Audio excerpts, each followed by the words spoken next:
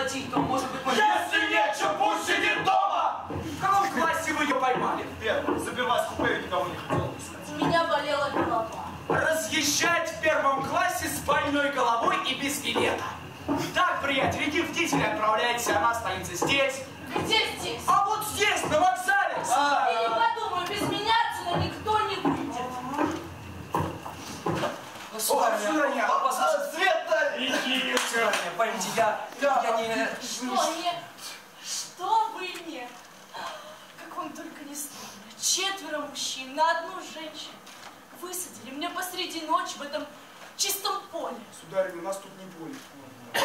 А, у меня четыре минуты опоздания, я дизель мне не положено. Тогда в глухом лесу. Что вам от меня надо?